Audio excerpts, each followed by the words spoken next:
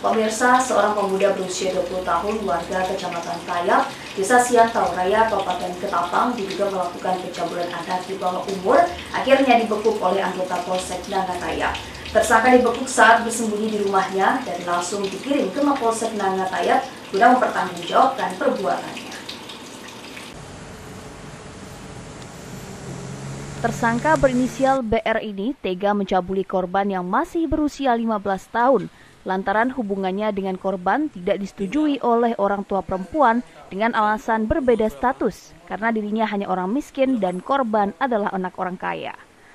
Tersangka mengaku bahwa dirinya sudah sering melakukan hubungan layaknya suami istri di rumah kediaman korban yang tinggal tidak jauh dari rumah tersangka.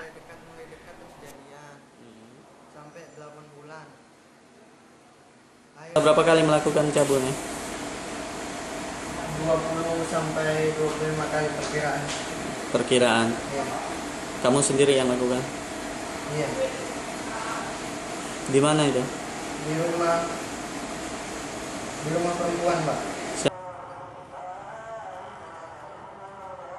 Sementara itu, Kasat Reskrim AKP Eko Mardianto membenarkan bahwa kasus cabulin dilakukan tersangka dilakukan terhadap siswi yang duduk di bangku kelas 9 SMP Negeri 1 Nangatayap.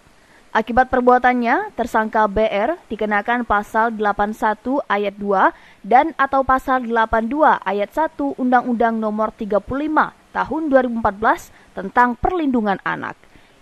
Dari Kabupaten Ketapang, Gusti Edi iNews melaporkan.